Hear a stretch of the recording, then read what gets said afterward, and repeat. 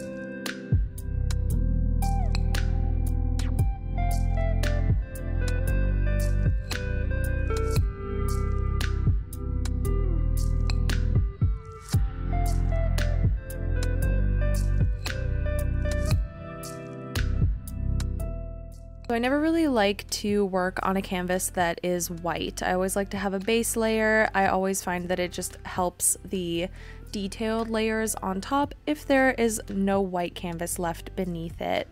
So I'm going to lay down base colors for all of these sections to get rid of all of my white canvas. I'm going to use light yellow on the hill and around the stars and the moon. I'm going to cover my sky with a base layer of light blue.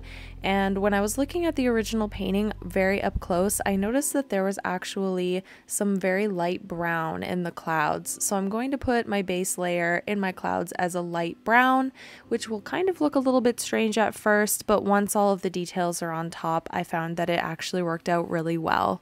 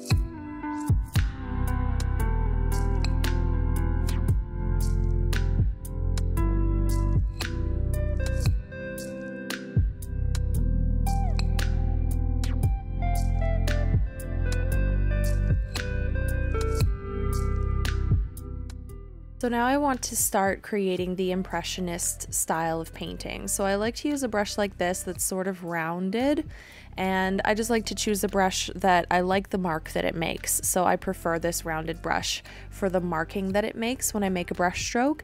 And basically the impressionist style is just creating the exact same brush stroke over and over and over again and layering them and layering them until you're happy with the outcome. There's no blending involved or anything like that, so it's just creating the exact same mark over and over again. So for the first layer of brushstrokes that I create in my painting, I want to just kind of figure out the flow of the brushstrokes because all of the other brushstrokes that I add are going to layer over top of this one and just follow the direction and the flow that I've created. So, as I go around and in between the stars and around the clouds, I just sort of imagine how my brushstrokes could travel around and in between them and figure out the flow that I want in my painting. And then I'll just continue working in this exact same flow, following the brushstrokes for the rest of my painting.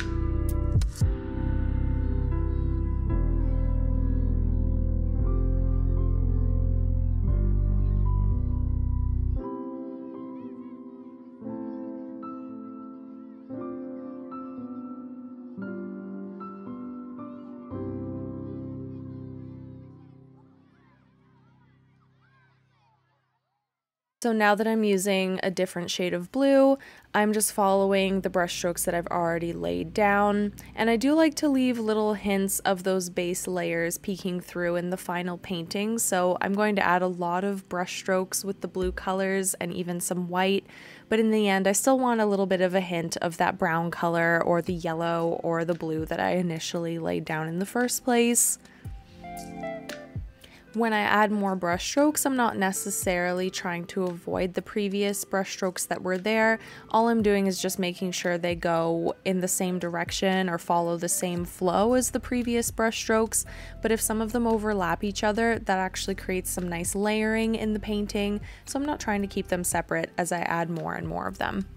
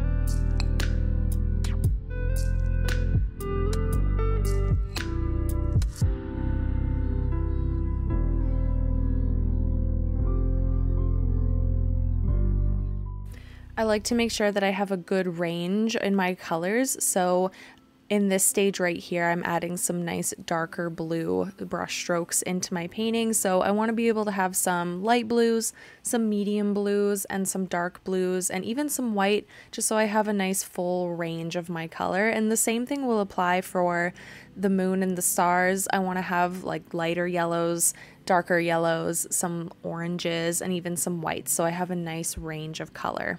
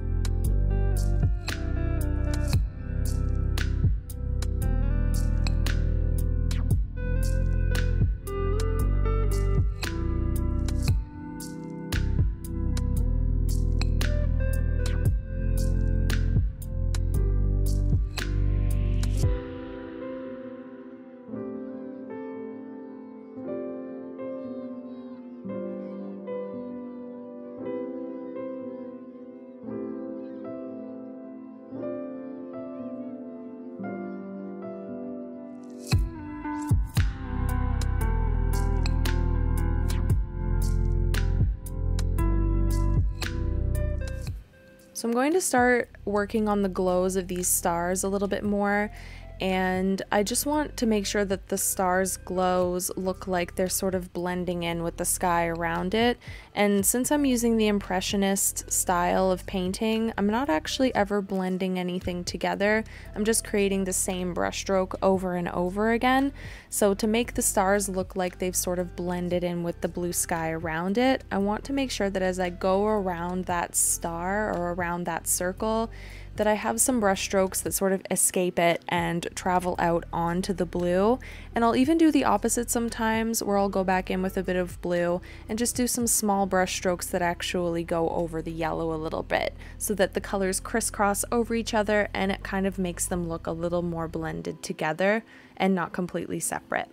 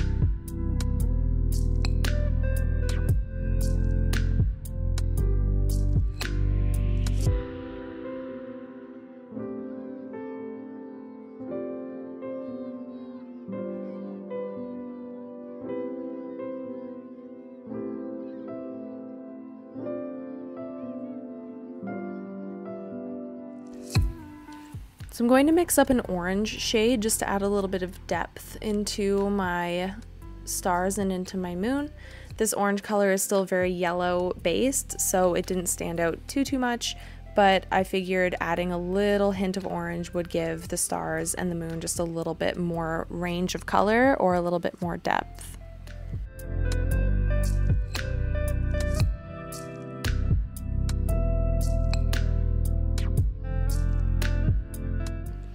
So from this point forward, it's mostly just sort of adjusting and fiddling around until I'm happy with it. So I'm still using the exact same brush strokes that I had been using before and just still following the flow of everything that I've already created, but when I'm looking at it, there's some spots where I felt like I could have had some more white brush strokes or some lighter blue brush strokes or added a little more yellow here and there. So I'm just sort of playing around, adding a few more brush strokes with all of my colors until I was happy with the final result.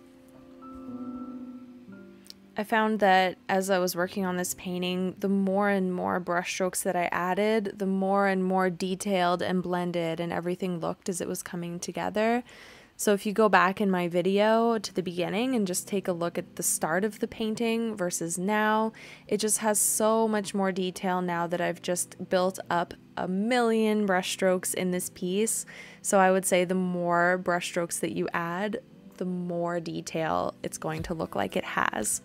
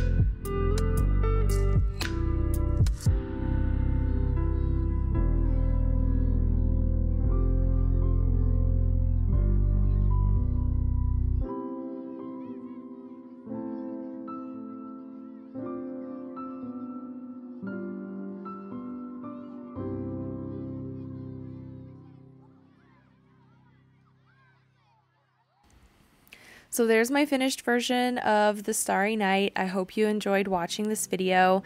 If you did, make sure you leave a thumbs up and subscribe to my channel so you can see the future videos that I will do.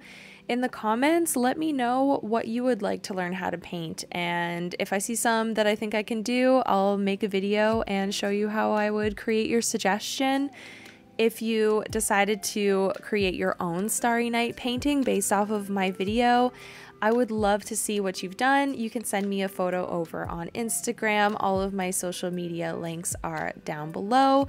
Also, my online shop is linked down below if you'd like to check that out.